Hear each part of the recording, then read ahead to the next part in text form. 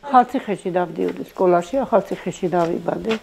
ოჯახში ვიყავით ხუთნი, დადმანი და დედმამა. და იქ დავამთავრე, მე საბუღალტროთ ვისწავლე. რო დავამთავრე, გავთხოვდი პამაკში. ორი შვილი მყავს, ხუთი შვილი შვილი.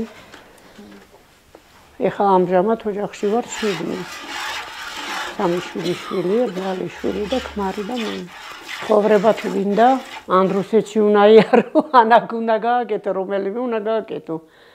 ოჯახთან რო იყო ჯობი აქ ცოტა იწვალო, ვიდრე წელიწადით რუსეთში იარო და მონატრებული იყო ოჯახს. და ეს 5-6 წელია მეუღლე არ დადის, მანამდე სულ დადიოდა.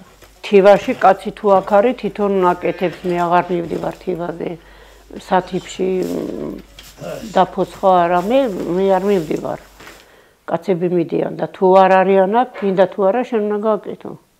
კაცი თუ გადის რუსეთში, სახლის საქმე ყველაფერი დარჩება ქალის კისერზე თუ სახლში მამაკაცი არ არის. 10 სულის წელა ადვილი არ არის ადვილი. ჯერ ზაფხულში საქონელი დაამთეავრე, ყველი გააკეთე და მე რეყანაში ირბინე აქეთ, საწველი გინდა იქით. სახლის მოვლა გინდა. სოფელში ეგრეა პა. სადმე დაბადების დღეზე ან ქორწილში ან საქეიფოთ სადმეს თუ გახვალ. მიხედავ თავს თუ არა თუ არა არ გცალია. ნასწავლი რო იყო და სამსახური ნახო კარგი ხელფასი კონდეს არც საქონელი გინდა და არც პანა გინდა. ეხლა ზოგი რო არიან 2000 3000 ლარამდე ხელფასი იღებენ.